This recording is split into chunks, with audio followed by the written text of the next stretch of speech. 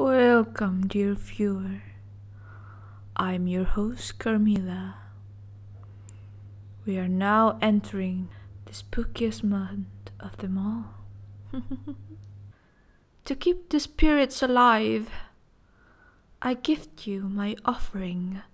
Now, turn off your lights, relax, and enjoy.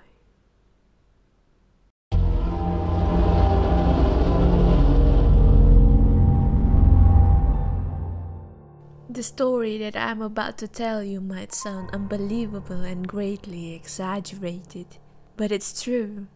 Really fucking true.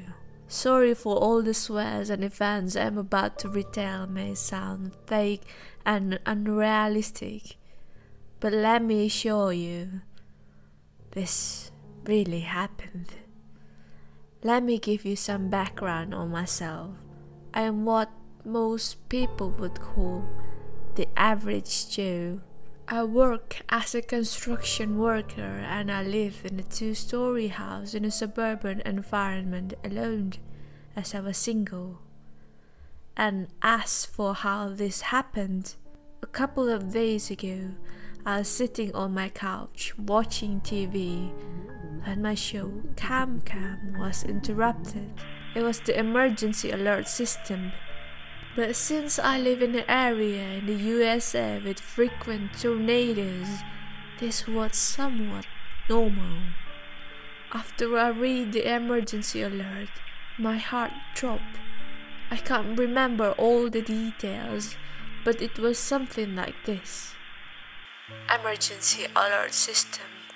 This is not a drill. The United States Civil Defense has issued the following message.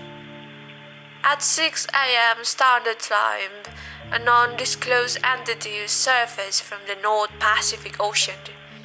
It is believed to be extremely hostile towards humans. Until further notice, follow these instructions. Do not look outside. Do not go outside. Do not respond to any calls for help, no matter how human they sound. Cover all windows and secure any entrance points. If you own a firearm, keep it with you at all times. Enclose yourself in an area with minimal entrance points.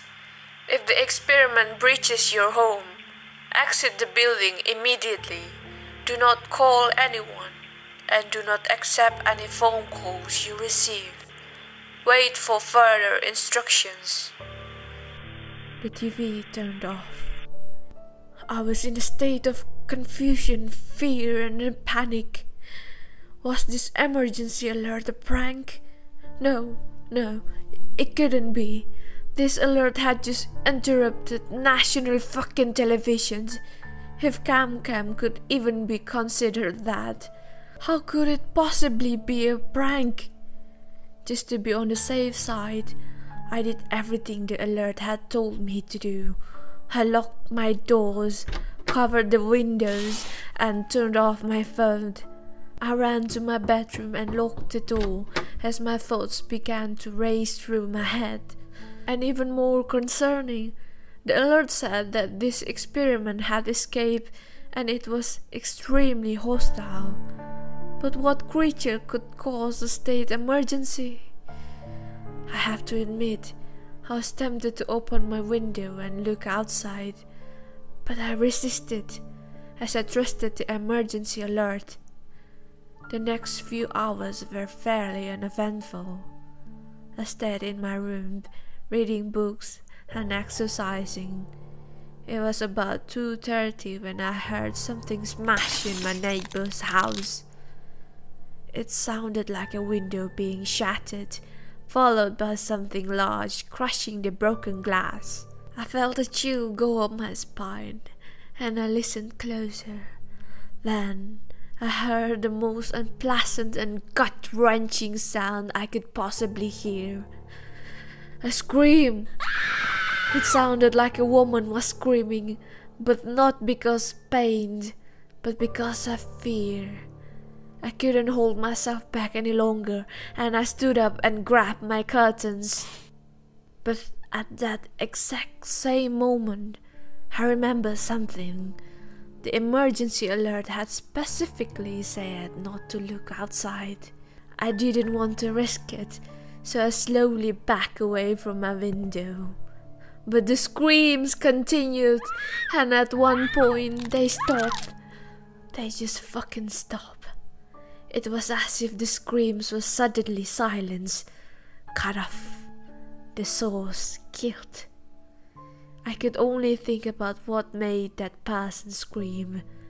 Some creature was out there, and that unlucky person must have seen it. No, no, no.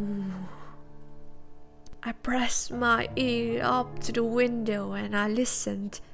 I could hear something move through my neighborhood. It didn't move like a car or something. The thing moved slowly, as if it were dragging itself across the road. Without warning, all sounds of movement stopped. This brought panic to me. Why would the creature all of a sudden stop? Suddenly the sounds returned, and it sounded like the creature was moving in my direction. In my direction. Oh shit! Oh fucking shit! God help me! This was the last straw. I had to see what was outside. I stood up and walked towards the window, alarm bells ringing in my head.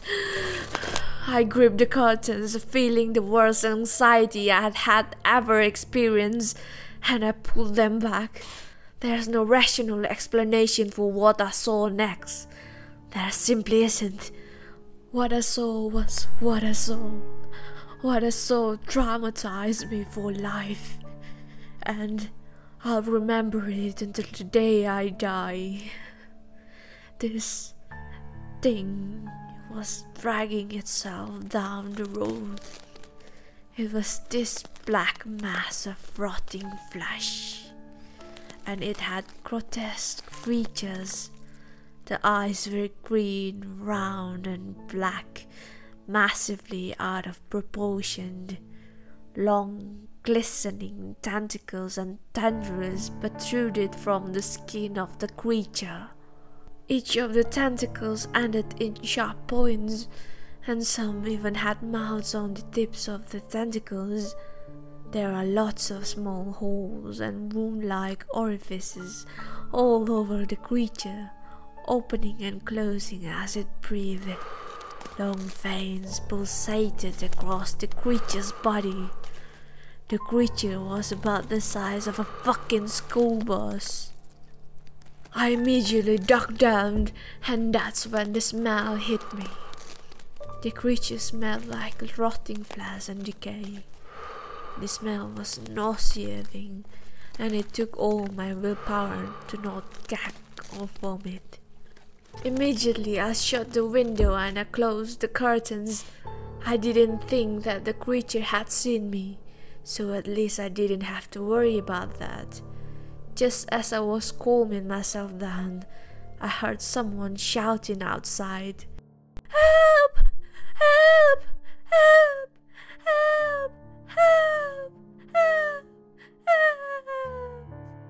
The voice yelled. I scrambled towards the window, but then I stopped. The emergency alert had said not to respond to any calls for help, no matter how human they sound. God, no. What the fuck is this? What the fuck is this thing? I pick off the window. One of the tentacles ended in a flower-like mouth, and the calls for help sounded like they came from it, as if it was some kind of speaker or sound projector. What? This creature? It couldn't possibly be normal. I watched the creature as it smashed the roof of a small house. One of its tendrils snaked through the house, and the tendrils returned with a bag of steak. The creature dropped the steak into one of its mouths, and the creature grew in size. Yes, it grew.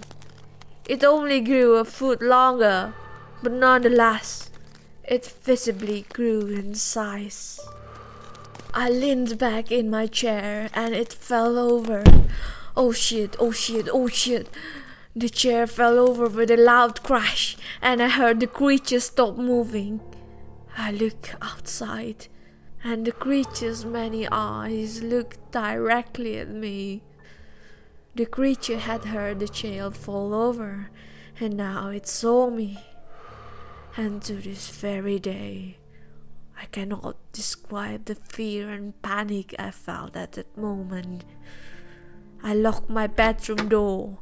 I had seen the creature easily rip the roof off of a house, so I didn't think locking my door would do much to protect myself. I heard the creature slowly drag itself towards my house, and one of its tentacles started to snake towards my window. I didn't own any firearms, so I was completely defenseless against the creature. I felt the front door of my house burst open and I heard actual human fucking footsteps run up my stairs as screeches came from outside. A very tall and muscular man, easily seven foot tall, donned in full tactical gear and a black gas mask, kicked down my bedroom door and pointed a loaded Benelli M4 everywhere in my room before realizing I was in the air. The man took off his gas mask, revealing a late twenties looking guy with dark curly hair, dark eyes, and bird stubble. The fuck? he muttered. They didn't even evacuate this place. God, Sergio must be drunk. What the hell is going on? I yelled. Hey, the man snapped. Calm the fuck down. I wasn't expecting anyone to still be here. That's all. I needed to get a better vantage point. We need to get out of here, and I have to kill this thing. Lawrence, that fucking asshole must have done this. Does he have hackers? What? I asked, sighing. Who the fuck are you? You? You don't need to know that. I doubt you'll believe me anyway. You know how to use this? The man handed me a large and loaded handgun. No, I don't. Well, too bad. Aim, point, fire. You'll definitely need it. The safety is on right now. Just click the little button on the side and it should turn off. Brace yourself for the recoil. I heard crashes come from downstairs. Shit, the man said. Let's get the fuck out of here. He put on the gas mask and ran downstairs, motioning me to follow as he swept the barrel of his shotgun at multiple rooms. As we passed into the living room at the bottom of the stairs, large, intertwined masses of black tendrils were snaking in the air, blocking the door. The man immediately shot the tendrils, severing them in bursts of black gore as he used a machete to chop the rest of them, firing outside as I ran out, only ten feet away from the monster. The man began to fire chunks of the monster, aiming for the eyes as he ran out of ammo. Reaching into his backpack and grabbing the stock of an M4 carbine, dropping the shotgun and firing at the monster with full auto precision. I decided to be useful and started firing at the monster at a point blank range. The recoil fucking my shoulders up, yet I kept firing until the gun clicked.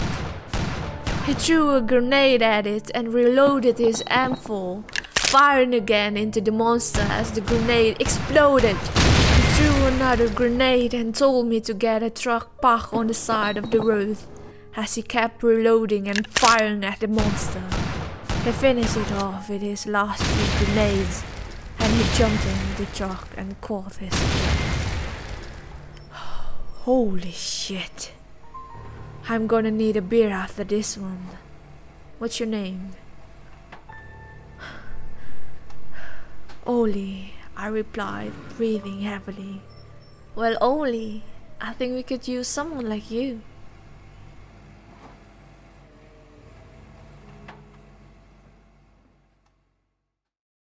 I just wanted to give my thanks to for letting me use their story to narrate. I wonder how it would feel like to run through your skin.